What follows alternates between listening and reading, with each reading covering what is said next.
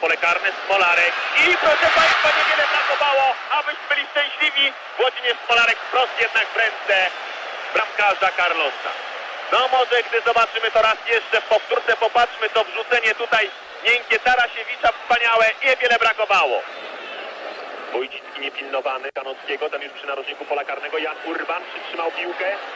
Wójcicki grać dalej, pokazuje Folker Roth, będzie dośrodkowanie, Brazylijczycy jednak skutecznie. Urban, Molarek, wyłożył piłkę Zbigniewowi Wońkowi, ten się zerwał, narożnik pola karnego, dośrodkowanie tam na pole karne, na głowy Brazylijczyków przez pole karne, no Janek Jarosia, poszła i poprzeczka, tylko poprzeczka, drugi raz poprzeczka Wojsłówek ratuje Brazylijczyków, aż mi skóra ścierpła po tej pięknej akcji polskiego zespołu.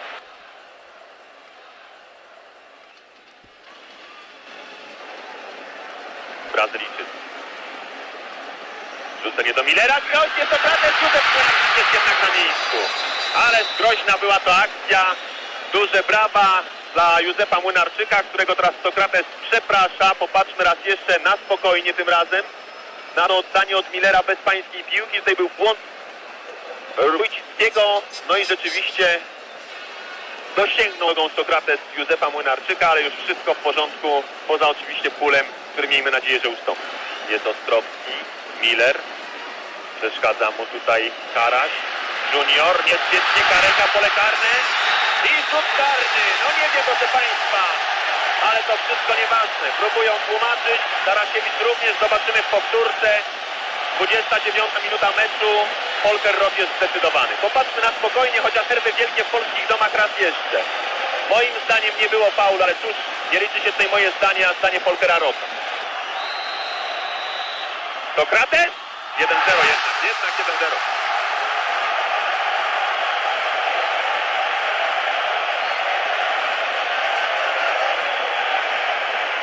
I żółta kartka za dyskusję z Folkerem Rotem będzie dla Zbigniewa Bonika.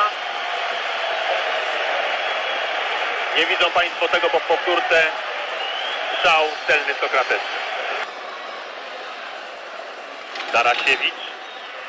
Wójcicki, ale szybszy jest Carlos, bramka z drużyny brazylijskiej. Wychodzą natychmiast Brazylijczycy. Rusza Sokrates, pędzi tam lewą stroną Kareka. Idzie tutaj również Miller. Grać dalej, Kareka pole karne i będzie rzut rożny drugi dla drużyny Brazylii. Natychmiastowy kontratak Brazylijczyków. Widzą Państwo te żółte koszulki, narodowe barwy, w których ubrani są również kibice. Bonik do Karasia. Karaś ma potężne uderzenie. Toczyła się ta piłka, toczyła, ale zdążył ją bramkarz brazylijski wyłapać. Chyba zbyt lekko uderzona. Raz jeszcze tak.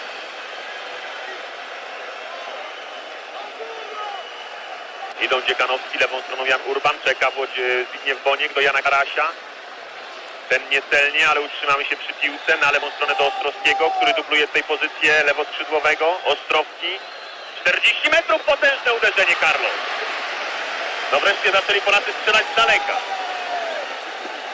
Znów bramka. Junior. Elzo. Sokrates niepilnowany. Teraz podbiega do, jego, do niego przybyć. Kareka, Polekano, obok niego Stefan Majewski. Kareka. I jemu się szkolne błędy zdarzają. Niecelne zagranie do Ostrowskiego. I koniec, proszę Państwa, pierwszych 45 minut, po których przegrywamy 0 do 1 po celnym strzale Sokratesa z rzutu karnego. Różne fazy gry, zarówno w wykonaniu Polaków, jak i Brazylijczyków, wielkie nerwy.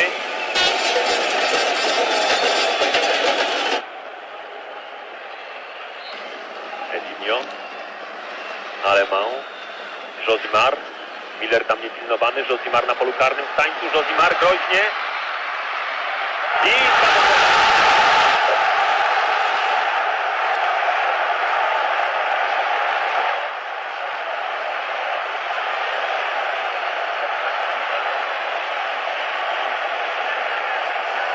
Błąd Młynarczyka, wyraźny błąd Młynarczyka. Jak nasi dopuścili, zaczęło się tutaj od obrońców, do tego, żeby z tak krótkiego kąta, z ostrego, mógł Josimar spakować piłkę do siatki. No więc proszę Państwa, być albo nie być. Polacy, Karaś idzie prawą stroną, Boniek do niego zagranie prostopadło, ale zbyt mocne. Boniek tutaj przewracany jednak i będzie rzut wolny z linii pola karnego z ostrego kąta dla Polski. Zapaj tumult niebywały. Nie potrafi opanować sytuacji Folker Ross. Przecież gdyby pokazał żółtą kartkę, mur by się cofnął, który tak długo i skwapliwie ustarł Tarasiewicza i milimetry, a może centymetry. Aż sam nie wierzy Ryszard Tarasiewicz, że ta piłka nie wcisnęła się do bramki. Jeszcze raz ta akcja. Karaś. Uporządkowanie gry do Majewskiego. Majewski 30 metrów. Do Dziekanowskiego. Dziekanowski jeden zwód, drugi zwód na pole karne. Boniek piękny strzał! Jaki piękny, ale nie wszedł, nie wszedł do tej siatki stojącego tam Carlosa. Ale było to piękne, brawo panie Zbyszku. Śliczne uderzenie Zbigniewa Bońka. Aplauz brazylijskiej publiczności. Karaś. Karaś jest 12 minut. Bonik. Karaś. Bonik jednak nie otrzymał piłki od Karasia, bo było bardzo niedokładne zagranie. Będzie Kareka. Długie susy sadzi obok niego Wójcicki. Kareka na polu karnym. Czeka tutaj na Edinio. Zagranie do Edinio. Piękne zagranie i będzie 3-0. Edinio tak. Koniec marzeń. Koniec snów. Tak. Żegnamy się z mistrzostwami.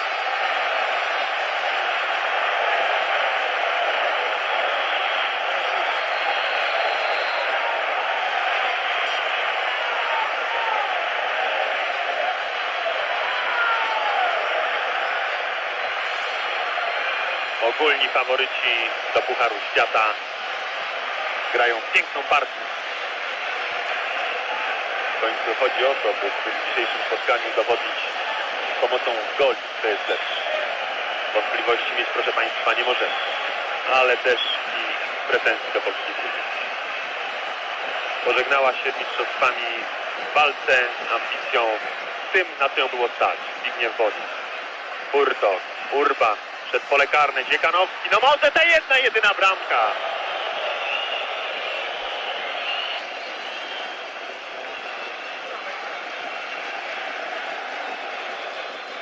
Dziekanowski przesuwa się tam, czekając na podanie od Stefana Majewskiego. Otrzymał, odegrał, Majewski, czeka tam Boniek, Majewski na polu karnym, przewraca się, ale tym razem na sztuczkę Stefana Majewskiego nie naleje się nabrać. Arbiter Niko nie ma spalonego, prawda tam Tarasiewicz, interwencja rozpaczliwa i będzie rzut karny, drugi w spotkaniu zapał Józefa Młynarczyka, drugi, kiedy tamten był niezasłużony, ten Brazylijczykom z pewnością się należy. Popatrzmy raz jeszcze.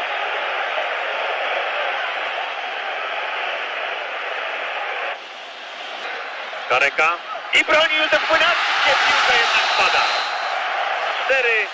4-0.